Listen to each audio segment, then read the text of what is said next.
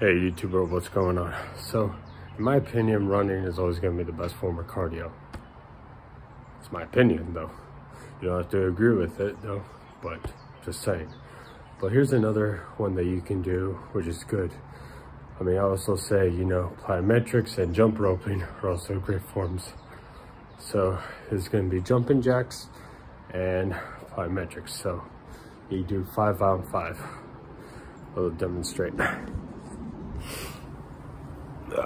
You know what? Let me find a spot where it's less sunny.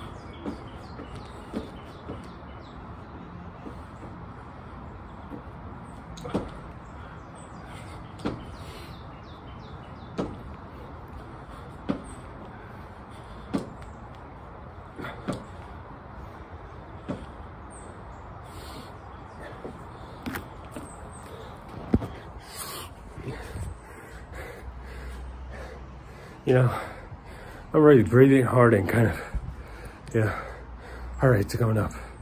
Do that for five or 10 minutes. That's gonna get you going. You know, and breathing, try your breast to just breathe through your nose only. There are many benefits through that though. Hey, you can breathe through your mouth, but I recommend try to do more with your nose. Yeah, give that a shot though. You know, even if running or jump rope is not feasible, you could always do something. All right, how much love for y'all. Enjoy the day. Peace.